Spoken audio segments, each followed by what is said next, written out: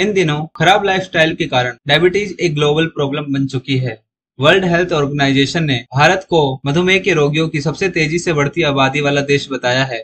इसके अनुमान के मुताबिक उन्नीस से 2025 के बीच भारत में मधुमेह के रोगियों की संख्या में लगभग दो गुना की वृद्धि हो जाएगी। और डायबिटीज़ की समस्या से बचने के लिए आपको विजय सार की छाल का इस्तेमाल ज़रूर करना चाहिए। आयुर्वेद में विजय सार को ब्लड शुगर को कंट्रोल करने वाला बताया गया है।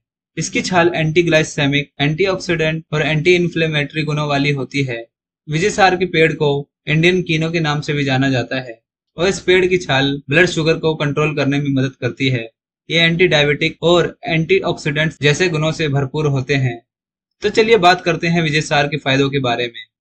अगर आप डायबिटीज़ की वजह से परेशान हैं तो आपको विजय सार बारक या उसके पाउडर का इस्तेमाल ज़रूर करना चाहिए, क्योंकि विजय सार डायबिटीज़ के लिए चमत्कारिक इलाज है। क्योंकि इसमें एंटी डायबिटिक गुण होते हैं। इस पर हुए शोध के मुताबिक, एक गिलास में विजय सार की छाल को एक गिलास पानी में भरकर रात भर छोड़ दिया जाए और रोज़ाना तीस दिनों तक दो बार उस पानी का सेवन किया जाए तो इससे डायबिटीज़ के पीड़ितों को काफ़ी फ़ायदा मिलता है। विजय सार की छाल सूजन को कम करता है और इंसुलिन की कमी के कारण बढ़े हुए ब्लड शुगर लेवल को कम करता है। यह कोलेस्ट्रॉल और ट्राइग्लिसराइड को भी कम करता है।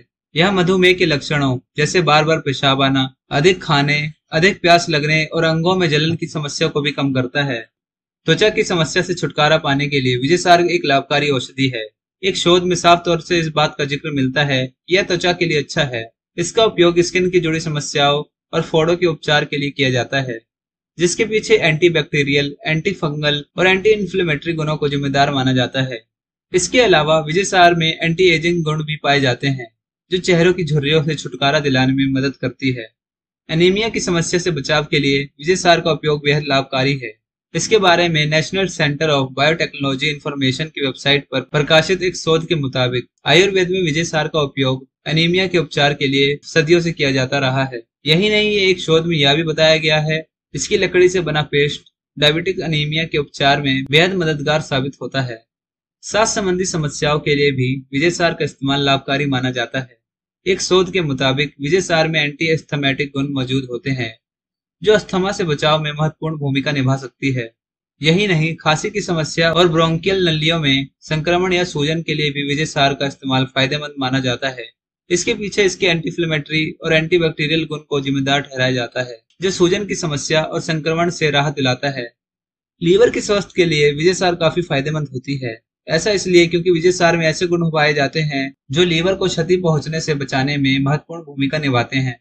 मधुमेह को कंट्रोल करने के अलावा, विजय सार कोलेस्ट्रोल जोड़ों के दर्द और वज़न घटाने में भी कारगर होता है।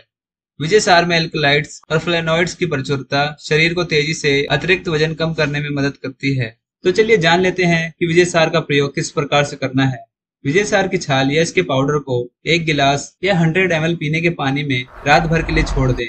और सुबह नाश्ते से आधे घंटे पहले इस पानी को पी लें। इसका सेवन दूध के साथ भी किया जा सकता है।